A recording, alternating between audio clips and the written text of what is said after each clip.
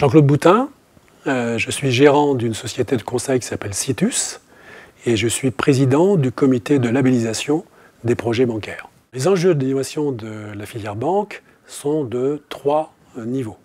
Le premier niveau, c'est le fait de couvrir l'ensemble des activités bancaires, que ce soit les moyens de paiement, que ce soit les financements, que ce soit toute activité bancaire, le plus large possible. Le deuxième point important, c'est qu'effectivement, nous soyons en rupture des usages tournés vers le client. C'est que le client trouve des activités à remplir plus simples, plus efficaces, euh, plus rapides. Et le troisième enjeu, c'est que euh, ça contribue en fait à faire bouger l'écosystème bancaire.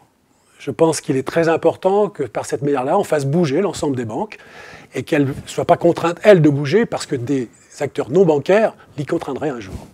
Les projets labellisés par les pôles répondent à ces enjeux également par trois choses. La première, c'est que l'éventail des projets qui nous sont proposés, qu'on labellise, en fait, couvre énormément de domaines.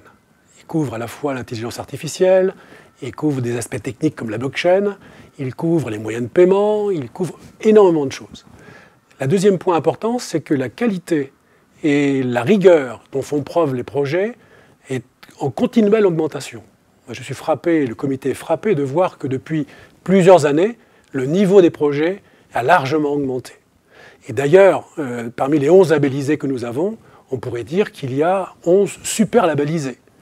Le troisième élément, c'est que euh, la notoriété euh, du label et la notoriété de l'ensemble des opérations qui sont faites autour de cela permettent d'avoir un nombre de projets plus important, meilleur.